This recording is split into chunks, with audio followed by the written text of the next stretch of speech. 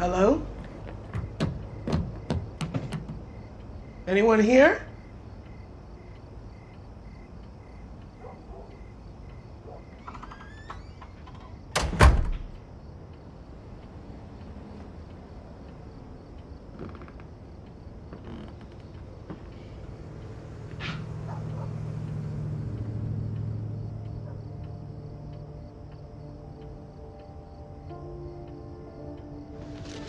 What do you think? It's okay. Young man, do you know when I was your age, I slept in the same room with two brothers. Say, Franklin.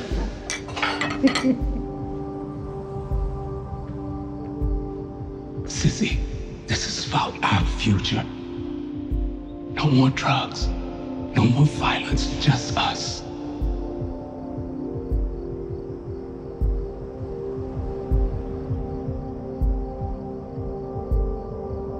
We can stop all of this. I want him to walk away.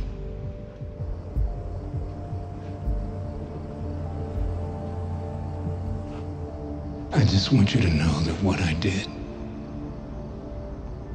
I did for all of us. I love you.